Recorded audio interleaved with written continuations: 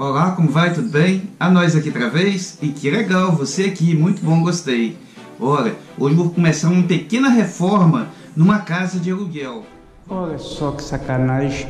Como é que eu vou entender o que, que é aquela quantidade de fio ali agora?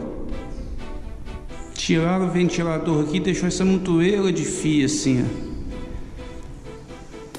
Sacanagem, olha.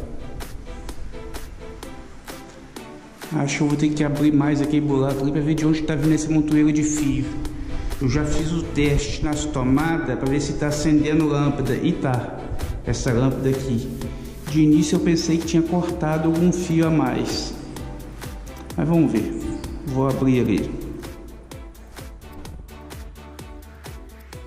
A primeira coisa a fazer foi colocar uma chave de teste para ver quais fios tinham energia.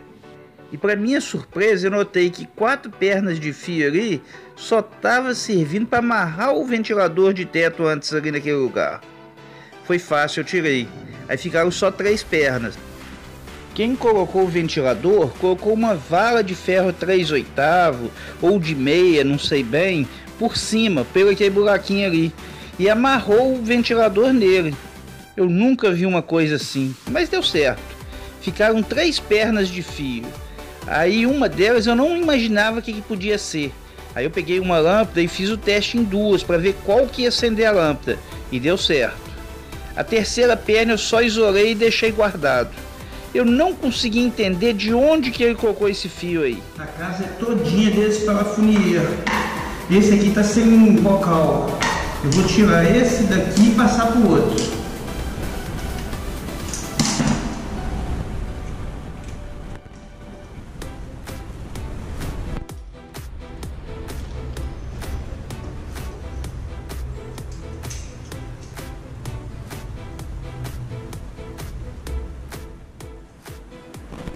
Só colocar aqui no lugar, ó. Ah, ele não encaixa não, também é diferente, ó. Que coisa, hein? Tamanho diferente.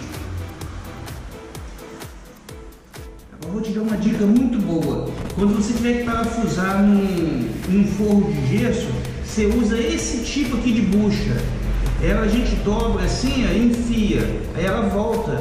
Aí quando você aperta o parafuso, isso aqui puxa e volta ele pro lugar assim, ó. Ele abre pro outro lado. Não solta de jeito nenhum. Vamos lá que eu vou fazer um furo lá para parafusadeira aqui.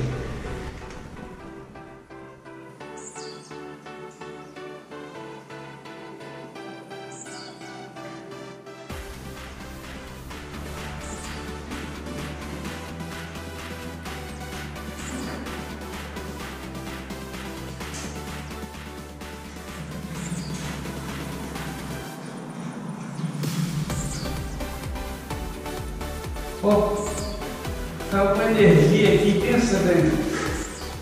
Meu amigo, um forte abraço e fique com Deus. Tchau, tchau. Não esquece de deixar um like pra mim. Me dá uma ajudinha aí.